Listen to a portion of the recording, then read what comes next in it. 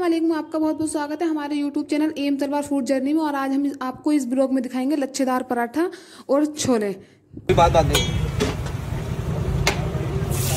ये एक प्लेट लगाई जा रही है। ये सर आपके हो गए छोले। और ये हम आपको सूखा चना देते हैं। बिल्कुल इसमें कोई नहीं मिला हुआ। ये है लाल हुई भुनी मिर्च। क्या बात है। ये मसाले वाली मिर्ची सर? टेस्ट ज़रूर कीजिएगा चाहे आपको अवॉइड हो आप खाते ना हो। थोड़ा थोड़ा ये प्याज। और ये कतलम्बे देख लो एकदम गोल्डन क्रिस्पी होती है। कितने रुपए की प्लेट है। हाँ ये सत्तर रुपये ये फुल सत्तर की है हाफ़ चालीस की है। ये लेमन सर इस पर या? तो पूरी चाट बन है। और ये ऐसा आपका लीजिए। ये लीजिए रखिए आप। ये लो। यहाँ पर रखिए।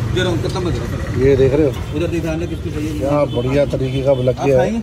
तो ये रहा भाई साहब हमारा कतलम्बा छोले, सूखे चने भी दिए भैया ने, और ये देखो भाई, ये मल्टी लेयर्स वाला लच्छा पराठा टाइप लग रहा है। तो इसे इंजॉय करते हैं बढ़िया सा।